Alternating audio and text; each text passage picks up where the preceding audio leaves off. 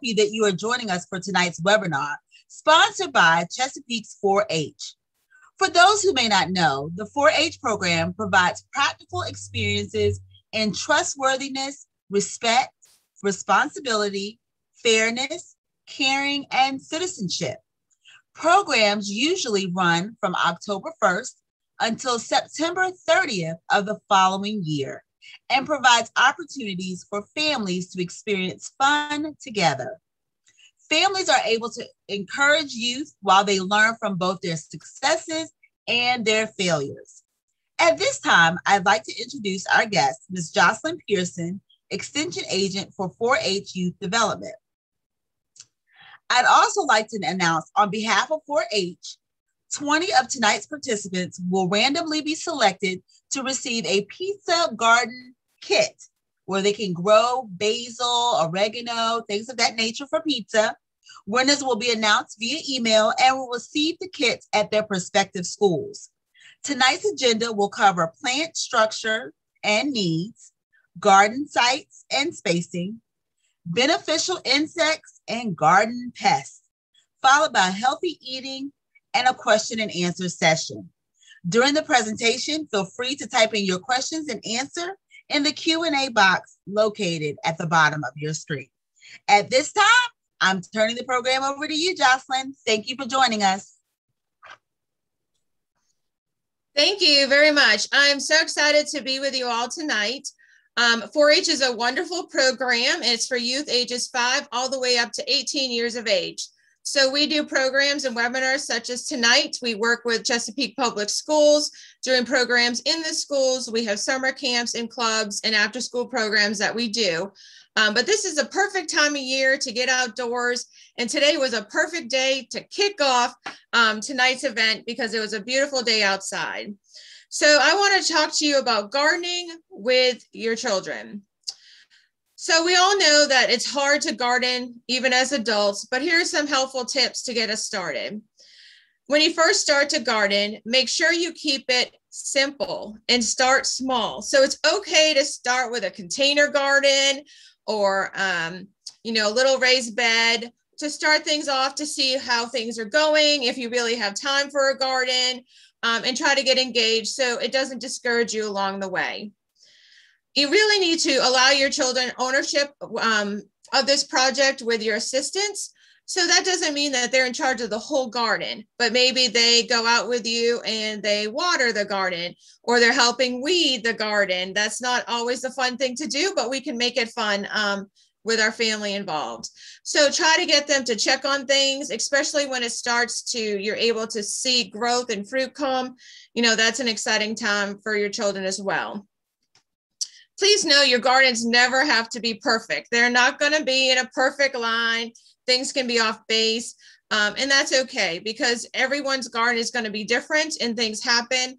Um, but you want your children to experience that chance of trying to garden and, you know, dig the holes and try to lay everything out with you you know it's important to kids like to see things happen. And sometimes these garden plants that we we plant there's a lot of time in between. So try to plant things that might grow grow right away. If you plant some radish seeds they usually you can see something happening you know within a week. So it's a very fast turnaround so they can actually see something take place. I also recommend that you try to plant visible and tactile plants so you want to see different things, but you want them to be able to see the different textures and the smell. So when you're planting different herbs, for example, you are able to, um, you know, rub the leaf and be able to smell um, the different herbs um, in your garden. And that's important. And if by chance you decide to plant even a flower garden, like lamb's ear has a very soft texture, um, you know, the lavender you can smell as well. So those are the things that just to try to think about and take advantage of the teachable moments. You know not everyone it's not always a quick quick let's water and move inside. Um, but you know talk and teach your children about why things are growing why things are struggling. We all know here in chesapeake sometimes we have many days that we don't get any rain. Um, you know and the sun is bright and it's very hot out so there might cause some issues.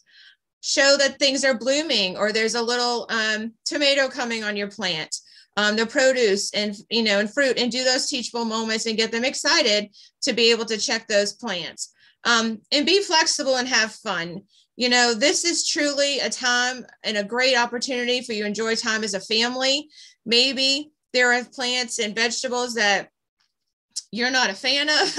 Um, we all have those, but maybe you try to teach them just so they can have that experience and try those out. Um, but it's something that we really want you to just get out outdoors, um, have fun, get away from the computer, um, and do that.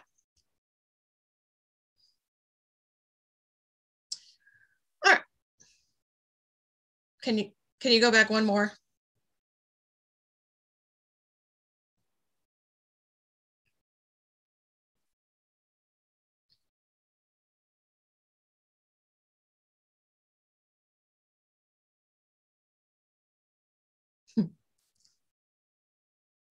Are we going a little too, uh, too ahead of time? Let's yeah, let's back out. There we go. It's okay. Um, we can go to slide eight. I think it is. There you go. There we go. Okay, perfect. All right. We all know that we have to be flexible with technology, and we learned all of us have learned that in the last year for sure. Um, so let's talk about plant structures. Many of you might do gardening already in your home, um, you know, and that's that's awesome. But we really want to make sure that the kids understand the plant structures. So we all know that plants have roots. So talk to your children about them. So why are roots important? So roots have a, allow soil surfaces and they essential to the plants. And there's two different types of root structures that we have. So there's called tap roots which is like one primary root. And you can really see that on certain vegetables, such as carrots and beets and turnip. So you see that single white root that just comes. Um, and even when you go to the grocery store, sometimes when you see them in the um, the farmer's market, you see the leaves and then like the beets, and then you see that one root. Um, and that's called the tap root. And then there's the fibrous roots. And they are many, many, and they're similar in size. So think of it as tomatoes and lettuce. So there's going to be a lot of different things that you're going to see with those. And those tiny little hairs that you see on these plants, and when, when we plant later, you're going to see them. It allows them to bring up water and any nutrients that we have in the soil so the plants can grow um, successfully. You know, roots are anchors to plants, um, and healthy roots help to bring, they're really plump and white when you see them. Um, sometimes when you see the see roots and they're really slimy and brown, they're probably not the best roots going on. So you might have an issue. But share this experience with your children. Let them pick something up. Let them look at it. You know, 4-H is all about experiential learning and trying to find things out and experiment different things. And you know, this is what we want to talk about. And you see here, like there's a lot of roots too. Um, you know, carrots and turnips, sweet potatoes, um, and beets that we mentioned. Then we have the stem structure. So this is truly the backbone of any plant that we have. It supports the plant and it transports the water and the nutrients up um, through the plant. So xylem transports the water and the minerals, and then the phloem carries the food that the, is manufactured by the plant. So a lot of times when kids see different vegetables, they're like, oh, it's just a vegetable, and that's not cool. But with celery specifically, you know, that is a stem, and you can actually see different things and do science experiments with them as well um, to do that. You can take a little bit of food coloring with your celery stick and put it in water, and you can actually see the water coming up through the celery stalk. Um, so they can experience how the water gets through. So there's a lot of neat and fun things that you can do. So the leaves are the leaves are really important to all the plants, but we do eat plants that are leaves. So parsley, basil, chard, spinach, you know, lettuce, all those type of things, basil, they're leaves that we do eat and use every day, you know, when we cook. Um, but they are truly, they transport light energy into the plant for the energy and they allow the leaves help the plant stay cool as they go, as, you know, the plant is growing. So they're very important, even the leaves on the tomato plants and anything like that. But you again, explain to the children that you know parsley is a leaf, um, you know that we eat. And then there's the flowers, and I always find that this is this is interesting um, for the children to understand too, is that the flowers are very unique and they don't realize that broccoli and cauliflower is truly a flower from a plant. Um, and it's like the showy highlight um, that attracts usually birds and insects when you think of it when you're talking about um, a flower garden, but as well as broccoli and cauliflower are plant structures as well. Now the fruits, there's always a debate if it's a fruit or a vegetable. Um, and that's always a debate that's been happening. But so fruits are tomatoes and cucumbers, peppers, squash, peaches, and apples. And the fruits really develop after the flowers have been fertilized. So that's why, you know, that cute little bee is over there too, because it's really important to have everything, um, you know, have pollen and do all of that as well. And they house their seeds inside. So if a child was to cut open a tomato, a cucumber, a squash, you know, even a peach, their seeds are inside. They're not out. Um, they're very uh, much inside and they differ depending on what um, what fruit that you are cutting with your children. Now, seeds, um, everyone usually thinks of pumpkin or sunflower seeds, but peas, beans, and corn and oats are also seeds that are plant structures. Um, and they can be spread by the wind. Um, a lot of times, even the seeds from a tree, you can see, especially now with all the pollen blowing around, you can see that the seeds are, are coming down from the trees and they're going to germinate into new plants. So sometimes you see things that pop up in your yard that you weren't expecting, um, but that's because the wind and the birds have transferred them. All right, so it's really important. The plant has needs, just like we have needs as um, humans to, um, you know, have housing and food and nutrients. The plants do too. And what I really like is this um, this chart right here, because if you spell out the word plants, this is everything that a plant needs. So first, it needs its place. So whether it's in the ground, whether it's in a container, um, whether you do it in a window box, however you do it, it has a place that it can grow. Then it has light. So obviously, you know, some of our, even our house plants are a little seedlings. Sometimes it's artificial light and sometimes it's sunlight. So those are kind of things that, you know, just depending on where you are. The plant needs air. It needs that oxygen and carbon dioxide to grow and, you know, to produce the fruits and vegetables that we want. Then we need those nutrients. So we need to have those um, in-depth nutrients that come in the soil. And sometimes, depending on if you have soil that is um, low um, in, like say, it's got too much um, potassium or anything like that, you may have to add a specific nutrient to kind of make the pH level okay. Um, but those are things that, you know, we really want to look for. And thirst, I know it sounds silly, but plants are thirsty because of the water. And this is one of the most important things that sometimes gets left aside that plants do need the water to survive and to grow. Um, and it really allows the plants to stay cool and hydrated um, and especially if you go out in the yard today, I noticed on my way home when I came into the house that a lot of my plants were looking a little sad today because it was so hot out. So obviously um, they're a little thirsty. And then you need good quality soil. So we have great soil here in Chesapeake, but sometimes everyone's neighborhood's a little bit different. So you want to make sure that um, the soil is there for the plants to grow and to build roots in. If you're having trouble growing the plants, you can always do a soil test, and we'll talk about that a little bit later. But you can do the soil test to see what kind of um, nutrients you need to add um, to make your soil um, good growing for your plants.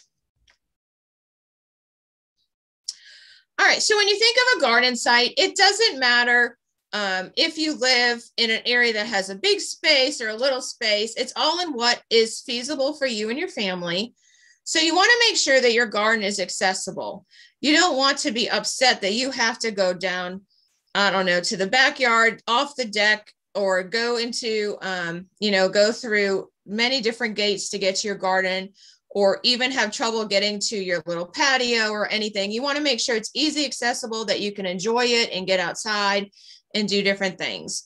You also want to make sure, especially when you're starting to plant a vegetable garden, you want to make sure you're able to get six to eight hours of sunlight each day. So that's something just to think about, um, and you know um, what would work for your for your area. You want to have loose and well drained, drained soil, and you want to have your tool storage nearby. So I'm not saying you have to have an entire cabinet or an entire shed of tools, but the most important thing would be, you know, something to water the plants with.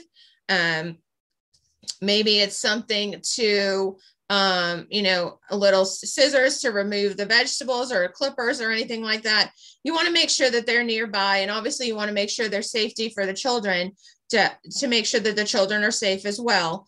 But you want to be able to just quickly grab that water, um, you know, and pour it in and move on and enjoy whatever is taking place. So there's a lot of different things that you can do but depending on where you are um, it's really important that you just have everything ready because we're all busy and we all have busy lives and we want to enjoy um, time out so sometimes it's hard if things aren't right there um, for you to participate with all right so garden spacing and i picked these three specifically because these items will be in those lovely um, pizza garden um, kits so a normal regular tomato, so one of those larger tomatoes, you really need two feet of space. Um, in the garden kit that you will receive, if you receive it, they're actually patio. They are actually patio tomatoes. So it's really important, and I'm going to bring this up to the camera, that you read whatever tag is in your vegetables, especially so you know um, it's sort of like reading a recipe. You want to know exactly what the ingredients are and what you're going to need and how long it will take. This is how you understand exactly how much space this plant needs. Does it really need sun? How long is it going to take to grow? Um, and all of that. So make sure you check those out. Our patio tomato tomatoes are only going to take 70 days to mature, and we only need um, about two inches apart. So that is nothing compared to the two feet, but it is a little different. So peppers usually need four to five inches, and then basil needs about 10 to 12 inches to grow. So we all know that um, you can grow these in containers. So you could have a specific um, container for different herbs, and that's fine. You could have a window box of herbs, and that is okay too. Um, it's whatever you wish to do. Um, you know, with your family and try different things and experiment with, I don't know, a hot pepper versus a regular green pepper and see how it grows. Um, that's the fun part of everything. So one of the things that we all want to know is what about those insects? You know, we none of us like to see a lot of insects on our plants, um, but there's some very good insects. So beneficial ones are the ladybug, the praying mantis, a lacewing, a butterfly. We have the bee, um, a wasp, the earthworm, the pill bug, and even a dung beetle.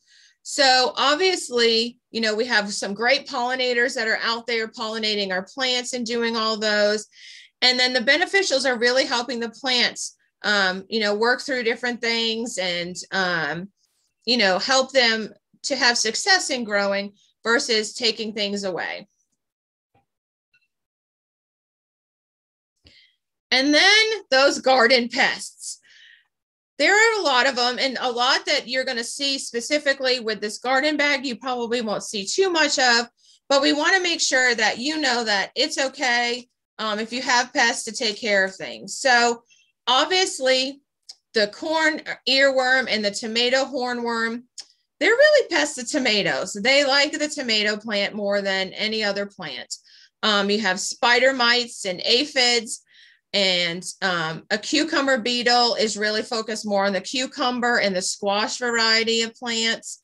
Um, the squash vine borer is very specific to just the squash.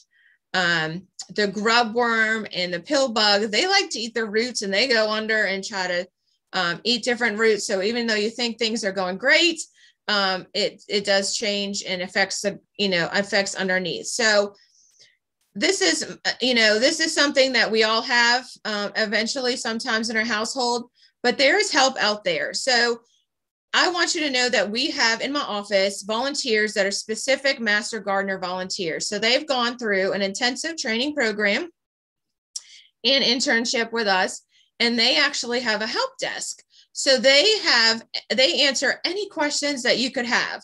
So if you take a picture of a random bug that you've never seen on your on your plant you can take a picture and email it to them and they and you can say i'm not sure what this is. What do i do? Um, and they will give you the advice. So it could be a beneficial or it could be a pest but they're going to give you that advice. Um, if you're having trouble with your plants um, struggling and growing they might suggest a soil test and at our office as well we have the availability through virginia tech to um, do a soil test for you. Um, there is a slight cost, but everything, and it comes back with a very scientific report that they can work through to help you with your needs, whether it's a garden or the lawn or anything like that. So even though you know we do see them um, a lot of these items on the garden pests if you get the bat you know the kits tonight you probably will not see them during that duration but if you're planting a larger garden there's a strong possibility that you might see them eventually you know, during your garden season. So I wanted to talk about healthy eating and wellness because I feel like that's important as well. And research has proven that children are more willing to try eating fruits and vegetables that they grow themselves because they think it's fun. It's not something that you've taken out of the refrigerator and say, let's try, but it's something that they're willing to um, try and eat different things. Um, I've done a lot of programs with the gardening um, project and we've done taste tests and kids have never tried some of these vegetables before, but because we did a garden at their location, um, they were more willing to try them. They might not have liked them so well, but they did try them um, to show that, you know, um, to see if they did like them because sometimes they hear it and they're like, nope. But other times they just want to try to do that. Um, all these fruits and vegetables contain many necessary vitamins and minerals. And actually, fresh fruits and vegetables are the most nutrient, have the most nutrients. So, yeah, it's awesome that, you know, we eat and, you know, I do this too. You know, you're on the run, you're trying to get from one place to another, you put something in the microwave and you steam it. That's fine too. Um, but those fresh fruits and vegetables contain the most nutrient content. And I think, you know, it's not really healthy eating, but you know, after the last year that we've been in the pandemic, it's really important to get your children up and moving and get out, get a little exercise, and do the gardening project. And it really helps with their mental wellness because they're enjoying the sunshine and doing something with all of you and your family. That's something that's really important um, being part of the garden and, and trying different things and you know having that time that you can have a conversation and they're they're not on their cell phones or on their computers um, worrying about what's coming what's coming up next or on the TV and things like that. So I have some fun activities that I would like to share um, when we do talk about um, the vegetable gardening project. So I mentioned a taste test, and that is something that you can do very easily um, at very low cost as well. So you can try different vegetables, um, different fruits, and um, just you know we've asked them questions like what do you think it looks like was it sweet was it tangy would you eat it again you know those kind of things um, and do it you know do that kind of thing. We've also done fun things too where we've had this fruit and vegetable beauty contest to see which fruit is looks the best um, but which one then we actually say which one tastes the best. So we all know like some of the more tropical fruits out there they're not the prettiest things that we see in the grocery store or at the farmers market um, but they really taste very good. So it's not always you know it's not always what you see on the outside it's the taste and and then explain to them why things are different like some of the um you know a kiwi is a little um has some you know, outside, I call it fur, but, you know, outside um, on it, you know, but a cherry does not, but it has like that waxy feeling on it. So just try to, you know, have that fun. You can also, we talked about the plant structure, give your children, depending on their age, so they can sort into different categories, whether it's, you know, um, a stem or a flower, and kind of review that. And then just the fruit and vegetable activity, you know, even when you're going through the grocery store. Is this truly a fruit or is it a vegetable and why? You know, there's always that opportunity to make things fun. Um, I know growing up, I always had to go to the grocery store with my parents, and it wasn't always the best um, experience sometimes because you were tired and you're walking around the store, but you can make it fun um, if you have the time to do so. And take time to visit a grocery store, a farmer's market, or even um, a local farm and see what they have and, and you know varieties they have even if it's just to visit to see different things to see how things are grown um, and talk to the farmers and and see you know why they decided to plant um, a variety of tomato versus this variety of tomato. Um, so there's a lot of different activities you can do. I just really encourage you all to you know be a part of you know experience with your children and get outside. Um, and they're very inquisitive. You know the kids are awesome. They're very inquisitive and they want to learn more. Um, and sometimes they know the answer because they've learned it in school but there's a lot of opportunities out there that um, you all can learn together. So i do want to um, also show you a little bit about planting before we get to the questions. So i'm going to just move my camera. So we're going to make the best of things. So I'm going to come up to the camera. So here I have a pack of three lovely tomato plants. And like I said, um, in the kit, we're going to have patio tomatoes. And it's it's interesting because you plant tomatoes a little bit differently than you plant other veg, you know, other vegetables and fruit. So I have my makeshift garden table here in my house here. Um, so I don't get soil on um, my keyboard but you want to have a place. So right now, I just have this lovely um, container of soil, and we want to make sure that we're ready. Um, so we have our container in our place, and we're only going to plant one of the patio um, tomatoes. So I'm going to carefully tip it over and pull it out, and you all are going to be able to see. All right, I'm going to carefully do this. So you're all going to be able to see all the different roots. You see how all the roots are very tied up and they're having a little struggle. So what I want to do is we really need to, all right, I'm going to put it back here. So are they, if you think about it, we talked about they white roots. So these are very good plants because they are white roots. And they, we talked about how fibrous it is. So it's not just one root. So we really what we call, we really want to try to spread out and break this up a little bit. You're not going to go too too crazy. So I'm going to just put my cup right here for a second. So you want to kind of break it up to separate the roots because it has been in this container, it looks like for a long time. Um, so I am just spreading it just a little bit for you. Um, and then you're going to be able to see, see how everything is spread out. So it's really going to do um, great things. Now, specifically with tomato plants, you want to take the first, you want to break off the leaves that are on the on this up to about here because we're going to actually plant the stem a little bit more into the soil than we normally would. And this is because, you know, tomatoes get a little heavier than, than needed, but it's going to build the structure so the root system can go in. So obviously you're going to put a dig a little hole here in your bucket and you're going to go in and you want to put the soil. All right, I'm trying to do this makeshift here. So you want to make sure that the soil is up to, to this point in the container. So it may take some digging in the container to move things around. All right. All right, so here is my lovely tomato plant and it is in here. Um, and the next thing you really want to do is make sure that you put some water on there as well. So it looks like to me when I was opening the, um, the roots a little bit, it's very dry. So we want to make sure that we do um, water it as well.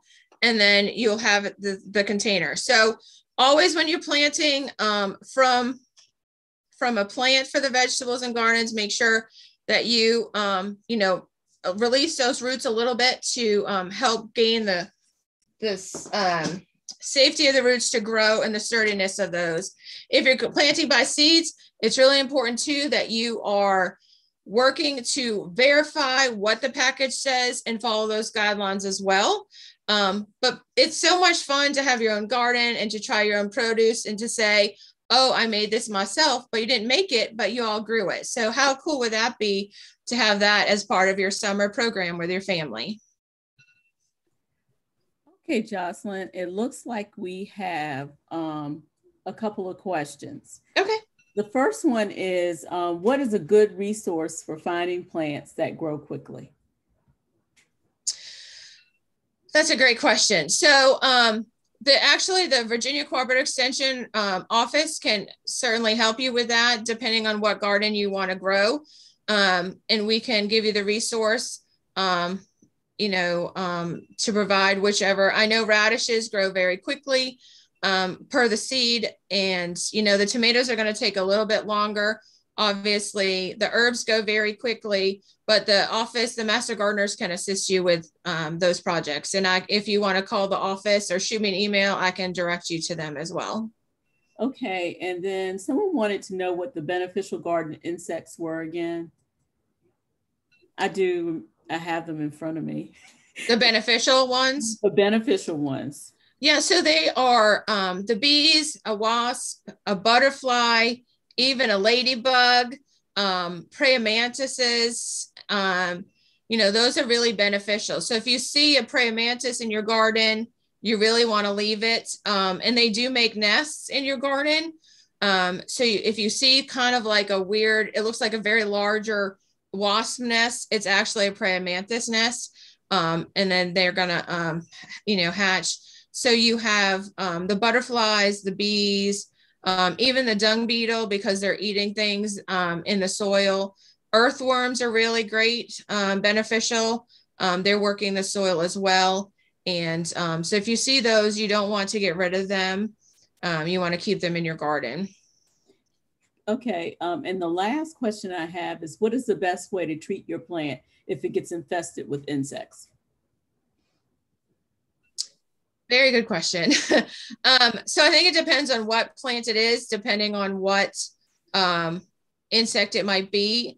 So we can, you know, the we can make recommendations depending on what plant it is. So if you have issues, feel free to call the extension office, and we'll be able to assist um, at any point. We always have someone in the office. Okay, um, that is. Oh, can cabbage be saved after greenworms have eaten it?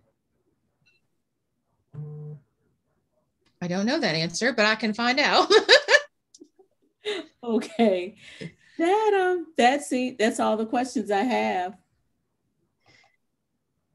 Okay, thank you. Wow, we had a lot of great questions. Um, I'm curious to know about the cabbage too. That's pretty interesting. Um, well, Jocelyn, thank you so much. And I want to just go over your email again. Um, it's J O C. Is it your whole name, correct? No. Uh, J Dailey. yes. Sorry. you want to tell us your email address again? I sure will. So it is um, J Dailey. So D A I L E Y at cityofchesapeake.net. But if you forget it and you're, you know, you're driving along and you're like, I can't remember email, if you look up Virginia Cooperative Extension, we are actually located in the school's planetarium building. Um, so we're right there um, in the planetarium building, and um, we'll be happy to look at your questions, answer anything you have. Um, if you have interest in doing more things with your children or joining 4 H or just having opportunities, um, you can certainly give us a call as well. Um, but we do have a great resource. We have about 100 master gardeners in the city of Chesapeake right now that are um, very active and always willing to um, assist the citizens that we, you know, we serve. So there's always that opportunity. Thank you so much. And I, my partner has put up the email for everyone to see um, again. So I want to thank Mrs. Pearson for this engaging webinar. We've learned a lot. Um, we hope families are ready to be and motivated to start gardening really soon. Um, it looks like each one of our participants today will earn a garden kit. So we will Woo-hoo! get in contact with you um, sometime this week and uh, get those kits out to your schools. We hope that you join us for our next 4 H series where we'll be canning jams and jellies. Perfect for strawberry season. This webinar has been recorded and will be uploaded to Chesapeake Public Schools YouTube channel within the next few weeks. Thank you for joining us this evening. And remember, families and communities work better together. Thank you.